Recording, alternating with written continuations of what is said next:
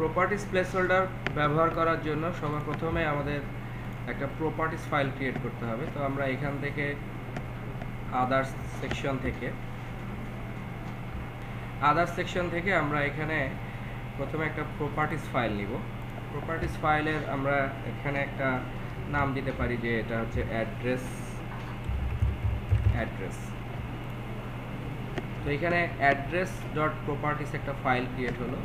আমরা এই প্রপার্টিস ফাইলের মধ্যে এখানে এরকম আমরা জানি যে একটা প্রপার্টিস ফাইল হচ্ছে নেম ভ্যালু পেয়ার হিসেবে আমাদেরকে ভ্যালুগুলোকে রাখতে হয়। তো আমরা এখানে এইভাবে রাখতে পারি যে অ্যাড্রেস ডট আমাদের এখানে অ্যাড্রেস ক্লাস অ্যাড্রেসের মধ্যে যেটা ছিল যে অ্যাড্রেসের মধ্যে সিটি স্টেট এবং কান্ট্রি ছিল। তো আমরা এখানে ওই জিনিসটাই তৈরি করব অ্যাড্রেস ডট সি আমরা এখানে মূলত আসলে দিলাম address one dot city physical two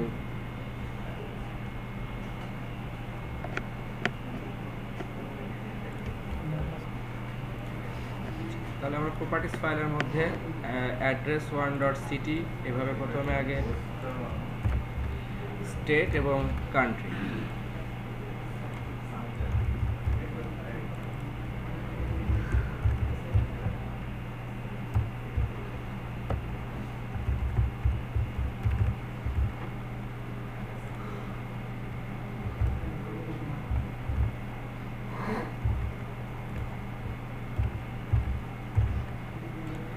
আমরা এখানে আমাদের প্রপার্টিস ফাইলটা ক্রিয়েট করলাম সবার প্রথমে। এখন আমরা এই কনটেক্সটের মধ্যে এক্সএমএল কনফিগারেশনের মধ্যে আমরা এখন আর এই এই বিনটা এখন ব্যবহার করছি না। আমরা এখানে এখন আরেকটা নতুন বিন ক্রিয়েট করব। বিন এর মধ্যে আমরা ক্লাস ক্লাস হিসেবে ইউজ করব হচ্ছে org dot spring framework dot beans dot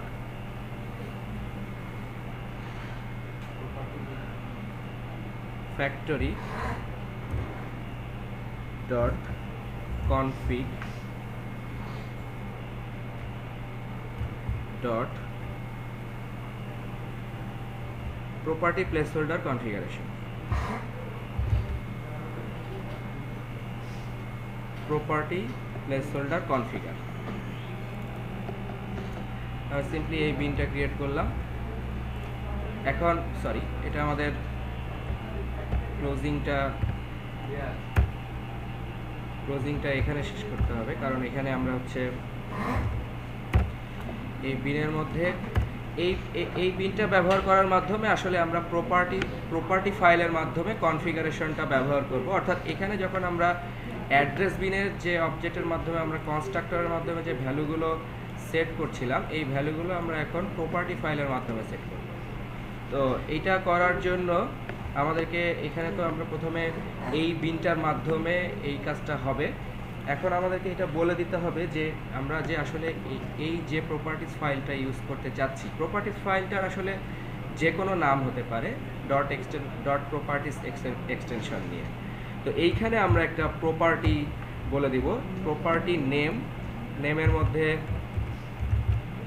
location আর এর মধ্যে আমাদের ভ্যালু হিসেবে থাকবে যে এই প্রপার্টি ফাইলটা যেহেতু প্রপার্টি ফাইলটা আমি এই সেম প্যাকেজের মধ্যে ক্রিয়েট করেছি, সুতরাং এই প্রপার্টি ফাইলটার জাস্ট নাম address dot properties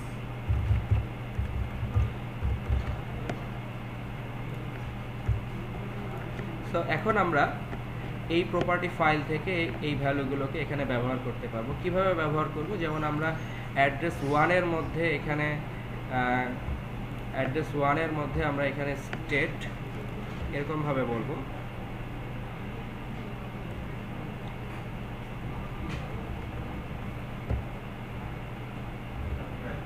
Dollar sign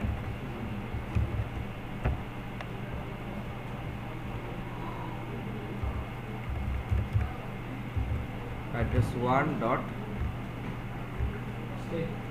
state. Course এটাকে আমাদের? এখানে আমাদের রাখতে হবে। এরপরে আমরা এখানে বলব যে dollar sign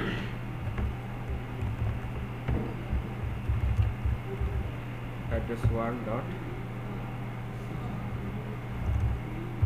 city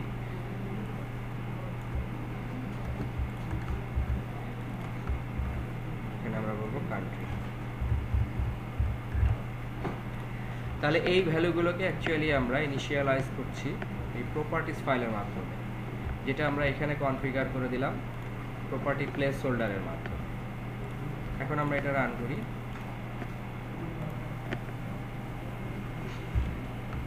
আচ্ছা, আমাদের প্রপার্টিস ফাইল প্রপার্টিস ফাইলটাকে আমাদের প্যাকেজ নেম সহ প্রপার্টিস ফাইলটা চিনিয়ে দিতে হবে। অর্থাৎ com slash Java knowledge slash address dot properties এখন অ্যাকচুয়ালি আমাদের যে ইরোডটা ছিল, সেটা হচ্ছে প্রপার্টিস ফাইলটা লোড করতে পারছিল না। তো আমরা প্রপার্টিস ফাইলটাকে প্রপারলি চিনিয়ে দিলাম।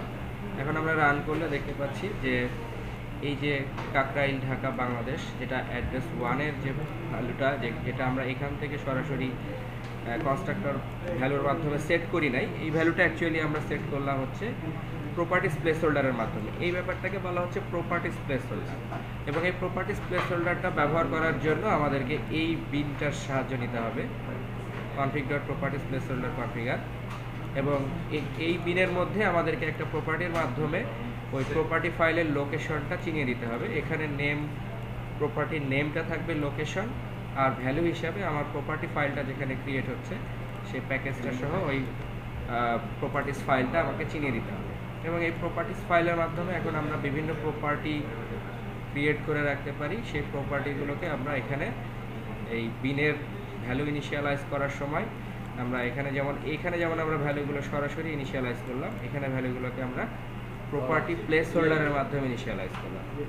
অনেক সময় আমার প্রপার্টিস প্লেস হোল্ডার বা এই যে বিন ফ্যাক্টরি পোস্ট প্রসেসরের প্রপার্টি প্লেস হোল্ডারটা প্রয়োজন হবে। যে আমি অনেক সময় ডেটাবেসের কানেকশনগুলো প্রপার্টিস ফাইলের মাধ্যমে সেট করে রাখতে পারি এবং সে প্রপার্টিস ফাইল থেকে ডাটাবেসের কানেকশন প্যারামিটারগুলো এখানে তুলে আনতে পারি। এটা হচ্ছে প্রপার্টিস প্লেসের কাজ